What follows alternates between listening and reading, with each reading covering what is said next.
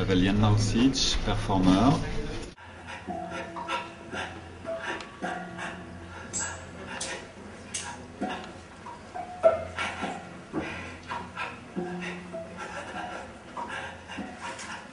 C'est une performance euh, sur l'immobilité, euh, tout d'abord, et euh, je suis dans une boîte en plexiglas enfermée pendant une heure, et c'est tout un, processus extrêmement lent sur un travail sur les sécrétions.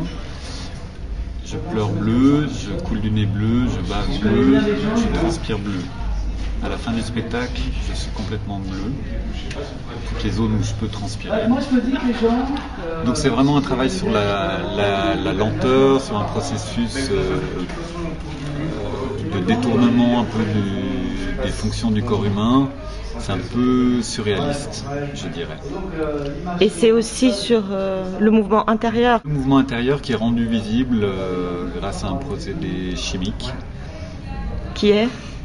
Qui est un secret.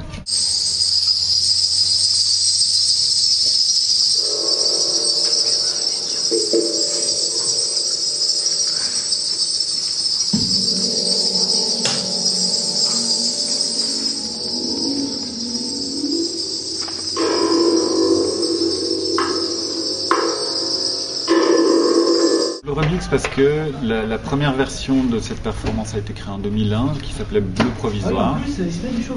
Et euh, donc j'ai décidé il y a 2-3 ans de...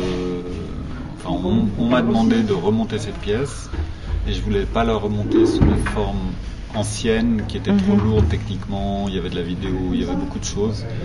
J'ai voulu un peu épurer et et donc, je suis parti sur un processus de remixer tout, remixer le décor, remixer aussi euh, ma position et remixer la musique. Avant, c'était frontal dans un théâtre. Aujourd'hui, c'est euh, comme une exposition. On peut tourner autour de moi, s'approcher, partir.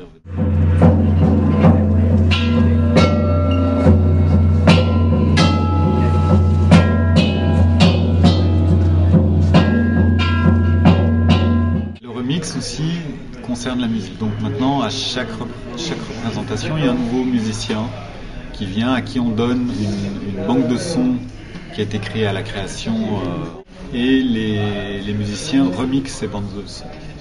Ils ont une entière liberté par rapport à ça Ils ont une complète liberté.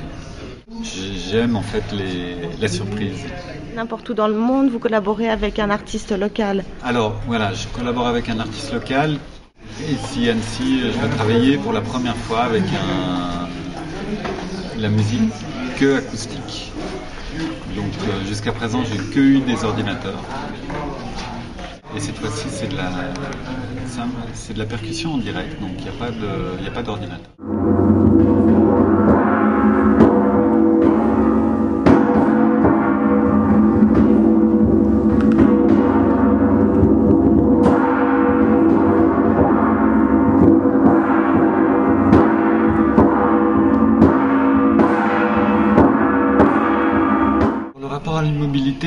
Il, est aussi, c'est aussi un rapport au temps. Euh, j'aime bien donner, offrir du temps aux gens. C'est une chose que de plus en plus on, enlève du temps, la télévision enlève du temps aux gens, beaucoup de choses enlèvent du temps aux gens, j'aimerais en donner. Donc c'est une espèce de, de, de, cadeau de temps, de prendre le temps d'observer les choses.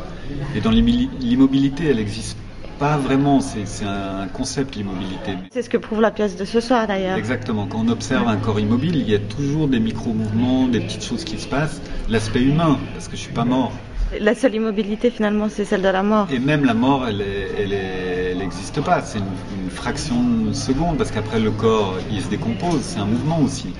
C'est lent, mouvement lent. Mais c'est toujours, tout est toujours en mouvement. Donc l'immobilité, c'est vraiment une une allégorie, entre guillemets. C'est euh, euh, arrêter le temps, essayer d'arrêter le temps pour un moment. Mais on s'aperçoit que ce temps ne peut jamais l'arrêter et que, que notre œil, il, peut observer les, micro-mouvements. Je vais développer le, le, micro-mouvement.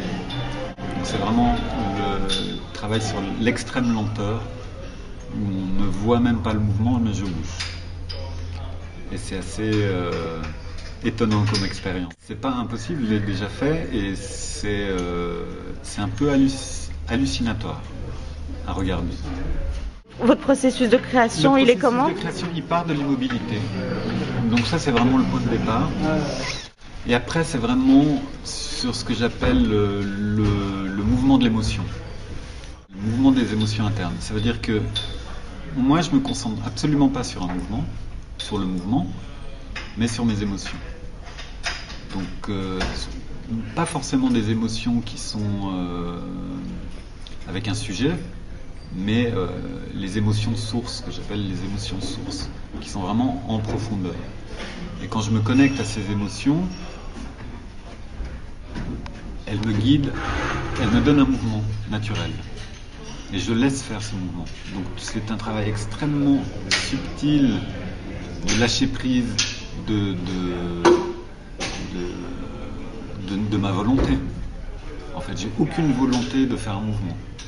Mais le mouvement, Il vient directement il par vient l'émotion. directement Par l'émotion, et je- j'observe mon, mon propre mouvement. Je ne décide de rien. Donc c'est un travail très très spécifique, et ça dure plusieurs heures, Comme d'habitude. comme d'habitude.